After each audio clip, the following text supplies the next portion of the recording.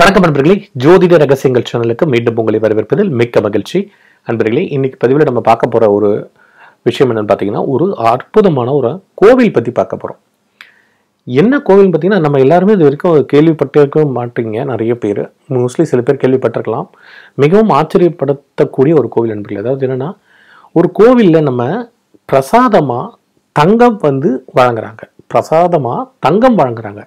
அது என்ன கோவில்ன்றது தான் பார்க்க போகிறோம் பொதுவாக நம்ம கோவிலுக்கு போனால் என்ன பண்ணுவாங்க? பிரசாதமாக திருநீர் கொடுப்பாங்க குங்குமம் கொடுப்பாங்க பூ கொடுப்பாங்க இல்லை பழம் கொடுப்பாங்க இல்லை பொங்கல் போன்ற உணவு இது தான் கொடுப்பாங்க.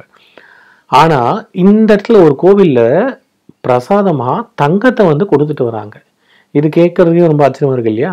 அது என்ன கோவில் அப்படின்னு பார்த்தீங்கன்னா எங்கே இருக்குன்னா மத்திய பிரதேஷ் மாநிலத்தில் வடமேற்கு பகுதியில் அமைந்திருக்கிற ஊர் பேர் வந்து பார்த்திங்கன்னா ரத்லம் இது வந்து ரத்னபுரி அப்படின்னு வரலா வரலாற்று பெயர் கொண்ட ஒரு ஊர் நண்பர்களே இந்த ஊர் வந்து தங்கத்திற்கு வந்து ரொம்ப பெயர் பெற்றது. ஓகேங்களா?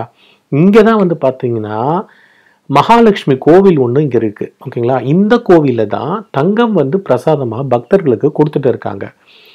ஆஹ் பக்திக்காக மட்டும் இல்லை நண்பர்களே எளியோர்களின் வறுமையினை நீக்குவதற்கும் கட்டப்பட்ட இந்த கோவிலுக்கு வருபவர்கள் தாங்கள் செலுத்தும் அந்த காணிக்கையை பணமாக செலுத்துவது கிடையாது. காணிக்கை செலுத்துவர் வரவங்க கூட தங்களால் முடிஞ்ச அளவுக்கு தங்கம் எவ்வளோ கொடுக்க முடியுமோ அதை தான் பிர- காணிக்கையாக கொடுத்துட்டு வராங்க. இல்லை அவங்களால முடிஞ்ச வெள்ளி எவ்வளோ கொடுக்க முடியுமோ அதை தான் வந்து அவங்க காணிக்கையாக அந்த கோவிலுக்கு கொடுத்துட்டு வராங்க.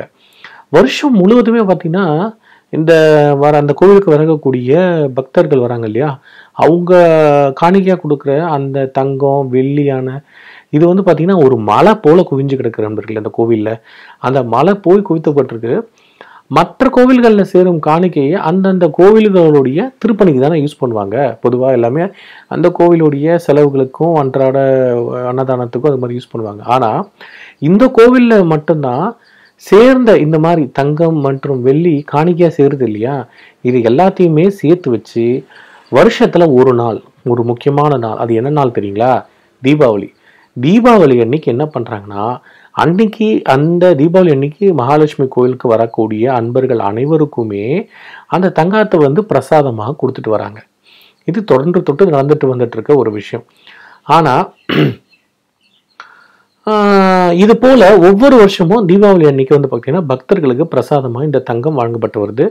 இந்த ப தங்க பிரசாதம் தினந்தோறும் வணங்குறது கிடையாது நண்பர்களே. அதனால் யாராச்சும் ஒருத்தர் போய் வாங்கிட்டு வந்துடணும் தங்கத்தை அப்படின்னு நினச்சி போனீங்கன்னா ஏமாந்து தான் வருவீங்க தீபாவளி அன்னைக்கு அன்றைக்கி போகிறவங்களுக்கு மட்டும்தான் அந்த தங்கத்தை பிரசாதமாக கொடுக்குறாங்க.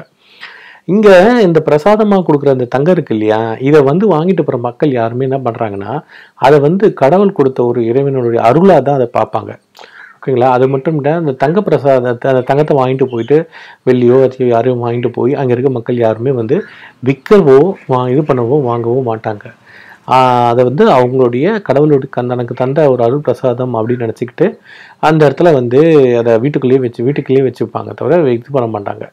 அப்படி வந்து ஒரு சிறப்பான ஒரு ஆலயம். அங்கே வைக்கக்கூடிய கோரிக்கைகள் வந்து பார்த்திங்கன்னு வச்சுக்கோங்களேன் ரொம்ப வறுமையில் இருக்கவங்க இல்லை ரொம்ப இதில் இருக்கவங்கலாம் வந்து அங்கே போய் வழிபட்டு வேண்டுதல்கள் மனதார வைத்துட்டு வரும்போது பார்த்திங்கன்னா அந்த வேண்டுதல்கள் வந்து சீக்கிரமாகவே நிறைவேறுதா வந்து சொல்லப்படுது. அதனால் அந்த சந்தோஷத்தில் தான் வந்து மக்கள் வந்து அவர்களுக்கு வந்த அந்த சந்தோஷத்தின் வெளிப்பாடாக அங்கே காணிக்கையாக வந்து தங்கத்தையும் வெள்ளியும் வந்து அதிக அளவில் அங்கே வந்து காணிக்கையாக செலுத்திட்டு வராங்க. இந்த கோவிலுக்கு போகிறதுக்கான ரூட்டு இது எல்லாமே வந்து பார்த்திங்கன்னா நீங்கள் கூகுள் மேப்பில் ரத்லம் மகாலட்சுமி டெம்பிள் அப்படின்னு நீங்கள் கூகுளில் சர்ச் பண்ணாவே உங்களுக்கு இந்த கோவில்கள் பற்றியான ஒரு பெரிய விக்கி இதுக்கு ஒரு விக்கிபீடியா பேஜே இருக்குது இது பற்றி நிறைய தகவல்கள் அதில் கொடுத்துருக்காங்க.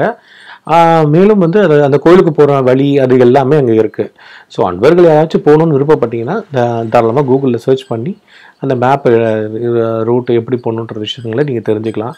ஏன்னா நிறைய அன்பர்கள் கேட்பீங்க. அதனால தான் இந்த விஷயத்தை இப்பயே ஷேர் பண்ணுறேன் ரத்லம் மகாலட்சுமி கோ டெம்பிள் அப்படின்னு நீங்கள் அடிச்சிங்கனாவே கூகுளில் உங்களுக்கு இந்த டீட்டெயில்ஸ் எல்லாமே வந்துடும் அந்த கோயிலுக்கு போகிற ரூட்டு அது மாதிரி எல்லாமே. நம்ம தெரிஞ்ச அன்பர் ஒருவர் இந்த கோயிலுக்கு போயிட்டு வந்து அந்த விஷயத்தை எனக்கு ஷேர் பண்ணியிருந்தார். மிகவும் அவர் போயிட்டு வந்ததுக்கப்புறம் அவருக்கு வாழ்க்கையில் நல்ல மாற்றங்கள் ஏற்பட்டதாக என்கிட்ட சொல்லிட்டு இருந்தார்.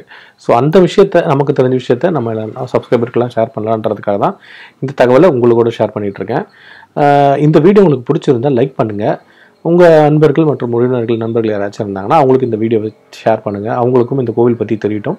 ஒருவேளை நம்ம போக முடியலனா கூட அவர்களுக்கு போகக்கூடிய ஒரு ஆப்பர்ச்சுனிட்டி கிடைச்சா அவர்களாவது போயிட்டு மகாலட்சுமியை தரிசித்து வந்து அவங்க வாழ்க்கை செல்வ வளம் பொங்கட்டும் அப்படின்னு வேண்டி விரும்பி கேட்டுக்கொண்டு நம்ம சேனலை சப்ஸ்கிரைப் பண்ணாதவங்க இது வரைக்கும் சப்ஸ்கிரைப் பண்ணிவிட்டு பெல் பட்டன் ப்ரெஸ் பண்ணி நோட்டிஃபிகேஷன்ஸ் ஆன் பண்ணி வச்சுருக்கேன் அடுத்தடுத்து நம்ம வீடியோக்களில் இது போன்ற நிறைய சுவாரஸ்யமான தகவல்கள் வந்துகிட்டே இருக்குது எல்லாத்தையுமே நீங்கள் கேட்டு உங்களுக்கு வாழ்க்கையை யூஸ் பண்ணிக்கலாம். நன்றி வணக்கம் சிவாய நம